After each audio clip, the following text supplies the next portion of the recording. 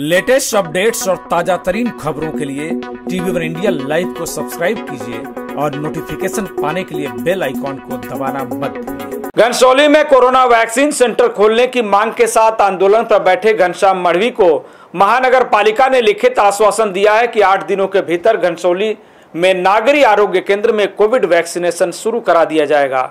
इस आश्वासन के चार दिन गुजरने के बाद भी नई में मनपा की ओर से घनसौली में अभी तक वैक्सीनेशन सेंटर बनाने या नागरी आरोग्य केंद्र की स्थापना को लेकर कोई काम शुरू नहीं हुआ है। इस पर अनशन कर चुके घनश्याम मढ़वी ने कहा कि अगर वादा खिलाफी हुई तो घनसौली के एक लाख रहीवासी इसके खिलाफ सड़क पर उतरने को मजबूर होंगे। अगर सब कुछ ठीक रहा तो हफ़्ते भर में घनसौली गाँव में दो कोविड वैक्सीनेशन सेंटर चालू हो जाएँगे। स्थानीय बीजेपी नेता घनश्याम मढ़वी के अनशन के बाद नईम्बई मनपा के उच्च अधिकारियों ने यह लिखित आश्वासन दिया है। घनश्याम मढ़वी ने तीन मई को अपने घर से आमरण अनशन शुरू किया था। उनकी मांग थी की एक लाख की आबादी वाले घनसौली गाँव में वैक्सीन सेंटर बने और नागरी आरोग्य केंद्र खोला जाए। लेकिन डेढ़ साल से चल रही इस मांग को मनपा प्रशासन सुनने को तैयार नहीं था, इसलिए उन्हें अनशन पर बैठना पड़ा। फ़िलहाल उन्हें मनपा अधिकारियों का लिखित आश्वासन मिल गया है, जिससे नागरिकों को बड़ी दिलासा मिली है। हमने तीन तारीख को, सोमवार को बेमुदत अनशन रखा था।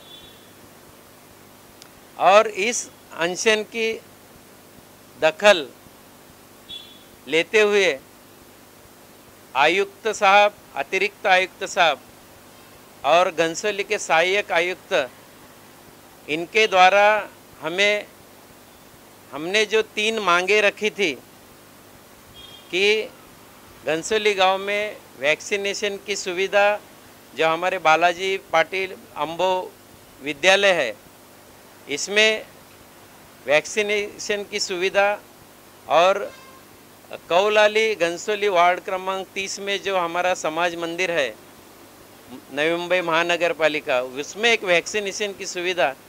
साथ में जो विभाग कार्यालय में काफ़ी पर्याप्त जगह उपलब्ध है तो जो आरोग्य केंद्र है वो घनसोली के विभाग कार्यालय वार्ड ऑफ़िस में लाया जाए।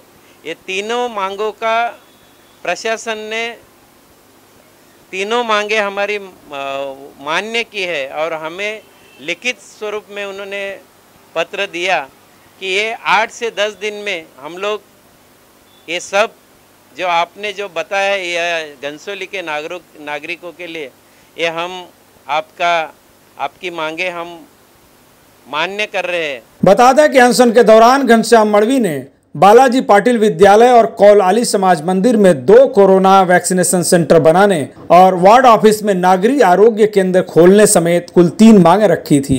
बीजेपी नेता गणेश नाइक, पूर्व विधायक संदीप नाइक और पूर्व मेयर सागर नाइक ने भी आयुक्त से इन मांगों पर तत्काल विचार करने का दबाव बनाया। जिसके बाद अधिकारियों ने 10 दिनों के भीतर सभी मांगों को पूरा करने का भरोसा दिलाया। हालाँकि पाँच दिन बीतने के बाद भी यहाँ कुछ भी प्रगति नहीं हुई है। फिर भी घनश्याम मढ़वी को विश्वास है कि मनपायुक्त अपना लिखित वादा ज़रूर पूरा करेंगे। उन्होंने यह भी इशारा दिया कि यदि वादा खिलाफी हुई तो फिर लाखों घनसौली कर मनपा के खिलाफ सड़क पर उतरने के लिए मजबूर होंगे। नवी मुंबई के भाग्य विधाता लोक नेता गणेश जी नायक साहब ने आयुक्त से बात की। एक्स एमएलए संदीप नाइक साहब ने आयुक्त से बात की और हमारे पूर्व महापौर सागर जी नाइक इन्होंने उस पत्र को देखा, समझा और उन्होंने कहा कि ये सब जो मांगे प्रशासन ने मान, मान्य की है, इसका हम सब मिलके फॉलोअप लेंगे। ये लोगों के सेवा के लिए ये आठ से दस दिन रुकने का निर्णय लिया।